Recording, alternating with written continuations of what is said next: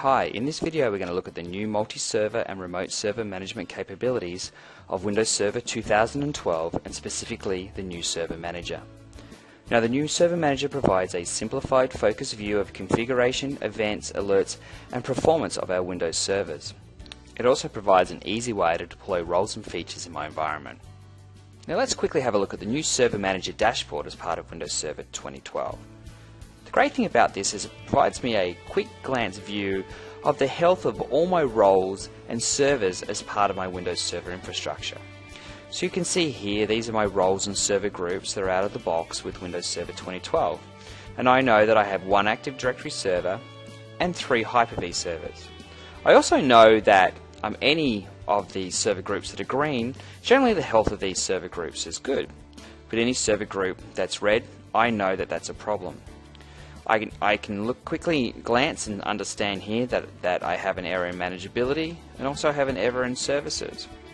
I can quickly delve into those by clicking on that, understand here that the Windows Firewall service is stopped on my server 6 and instead of having to visit server 6 I can just click start service here it will automatically start that service up and you can see that's cleared from my all services view again gives me very simplified multi-server management. I can also clear alerts as part of this as well. So if I look at the performance alert on my Active Directory roles here, I understand that this is a memory performance alert.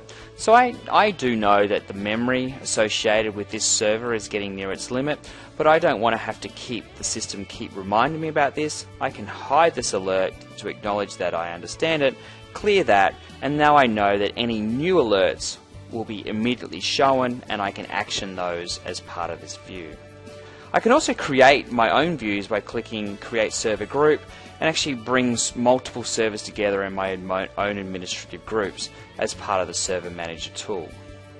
Now the great thing about the server manager tool is that not only can do local server administration I can also do multiple server administration as well. So for example here, I can choose single servers and understand the events, uh, roles, um, and services associated with those. But I can also choose multiple servers, in this case all the servers in my infrastructure, and look at all the events, the services, any best practice analysis. I can look at performance counters, and in fact, configure performance alerts based on those performance counters across each of these servers um, in the organization. And I can also look at the roles and features associated with each of these servers. Plus it's easy for me to filter based on what I need. So for example, if I only need to look at event 8200, I can filter on this information and it will show me any of the 8200 um, events across these servers. And then, for example, what I can do is I can actually save um, this query to be reutilized through this tool again and again. It's easy for me to customize my own administration approach. Now, one great new feature is the ability to do role-based administration. So for example, we have all the tools associated with role-based administration available in our tools drop-down.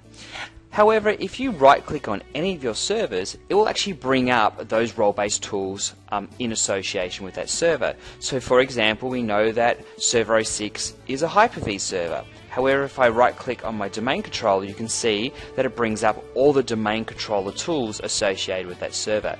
The great thing here is when I choose an administration tool, for example Windows PowerShell, it's actually administering that server. So it will automatically connect to that server as needed and I'll be able to administer that server centrally from this single tool.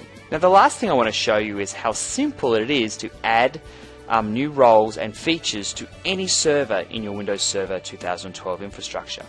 And you can do this a number of ways. You can right click on each of your servers and click on add roles and features.